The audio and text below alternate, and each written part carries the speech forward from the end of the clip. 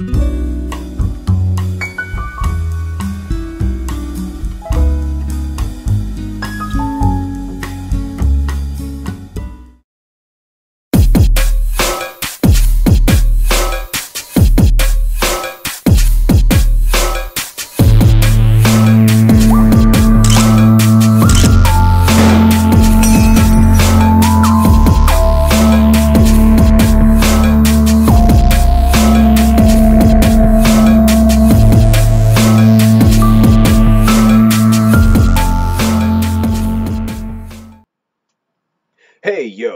Mark here for Marx Max Muscle. And today I'm going to be doing a profile on a bodybuilder by the name of Kenichi Suemitsu. Suemitsu will be the first bodybuilder to be featured on my channel from the Orient. So without further ado, let's get started. Kenichi was born in China, but later moved to Japan. I was actually unable to find his date of birth, but if I had to guess, I would say he was born somewhere around 1950, judging by these pictures that were most likely taken in the early 1970s. Suemitsu competed in the short class, so I would estimate his weight to be around 175 pounds, with a height of 5 feet 1 inch. One thing we do know about this man is that he had an incredible physique. Look at that massive pec development on this man. This massive chest, in combination with that tiny little wee waist, gave Suemitsu just incredible proportions. Look at the conditioning of those abs. Keep in mind now, this is the early 1970s.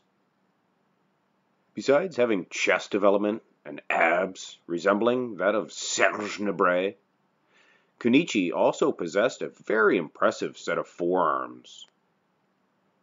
Not to mention a, a good set of biceps as well. In my honest opinion, Kenichi Suemitsu has one of the most incredible physiques of the 1970s.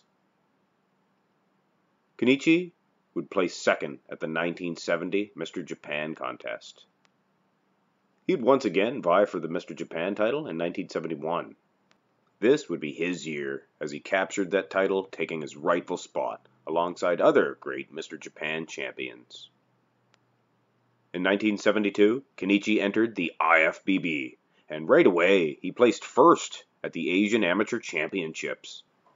Now it was time to compete against the best in the world. It was time to compete in the Mr. Universe competition. The 72 Universe had a fully stacked lineup of talented bodybuilders. Mohamed Makkawy was also featured in the short class alongside Suemitsu and many others as well. But Mohamed Makkawy is easily one of the most accomplished bodybuilders of all time, being one of only two men in history to score a victory over Lee Haney on the Olympia stage. Kenichi would place ahead of Makkawy and took the short class title of Mr. Universe. But in my opinion, a victory over Mohamed Makkawy is much more of a victory than the title he had received. Kenichi would compete one more time in 1977, this time for the IFBB's version of the Pro Mr. Japan title. He would place first, putting a fitting end to this incredible physique on the bodybuilding stage. Kenichi is one of those hidden gems of the bodybuilding world that really made an impression on me.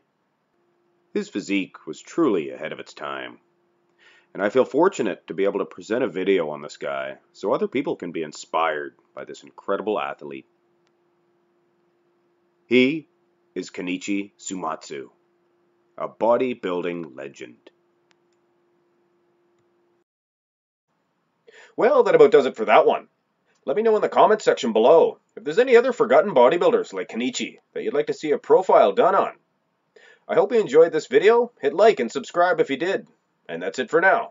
This is Mark for Marx Max Muscle.